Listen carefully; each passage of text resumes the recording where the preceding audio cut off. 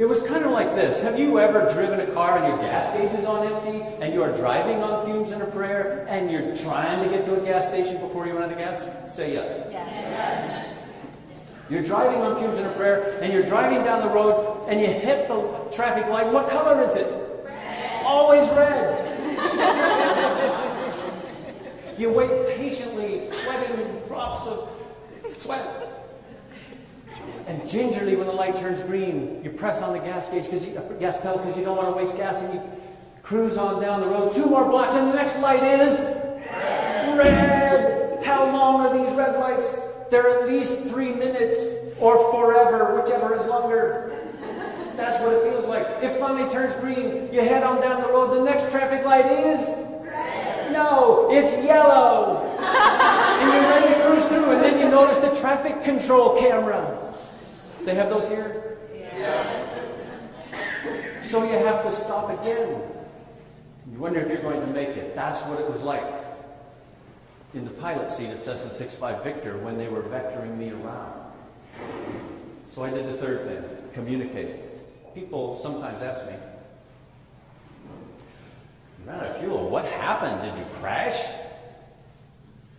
My usual response is, Yep. There were no survivors.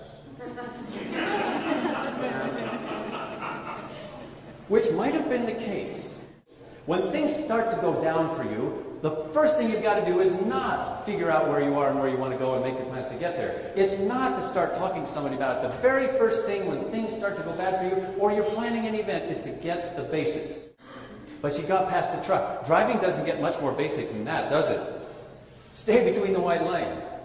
Now, when you're in kindergarten, aren't you told to stay in the lines?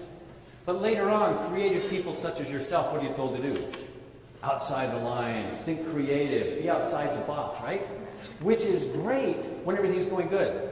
But when things start to go not so good, it's not a good time to start playing around with the lines.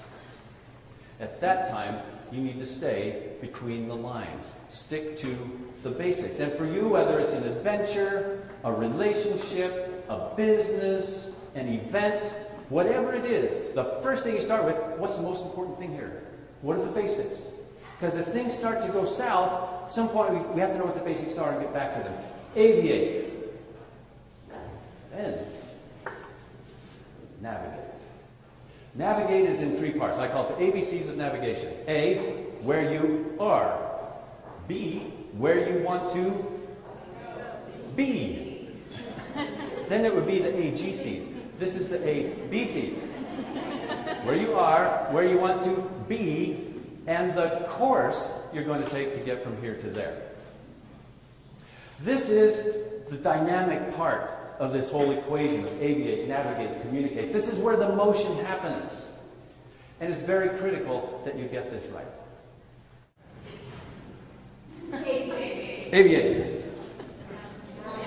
Navigate. Before the night's over, you're going to know these three words. It's awesome. It works. I challenge you. When things seem to be going down for you, running out of gas, you need help, remember these three words and in this order aviate, navigate, communicate. And you will have a smooth landing, you will fly again tomorrow, and you will soar to new heights. Thanks.